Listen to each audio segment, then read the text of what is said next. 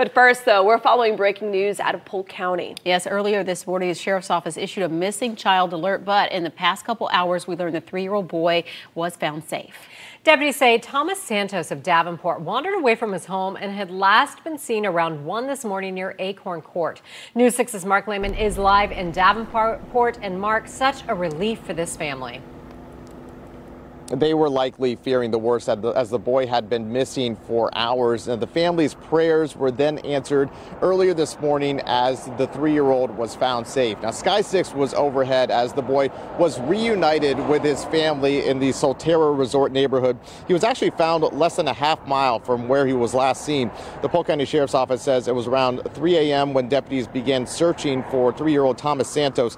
The child was reported missing off of Acorn Court in unincorporated Davenport. According to deputies, Thomas's family was visiting from out of town and relatives last heard and checked on the boy around 1 this morning. We're told a family member noticed the front door of the home was wide open around 245 and Thomas was nowhere to be found. This was especially concerning because we're told Thomas has been diagnosed with autism. The sheriff's office says they moved quickly with this call, responding to the area with aviation, a marine unit, and a bloodhound.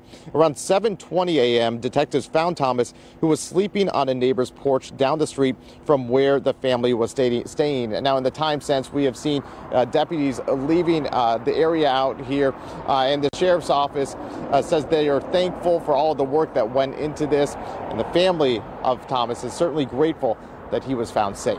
For now, reporting live in Polk County, Mark Lehman, getting results, News 6.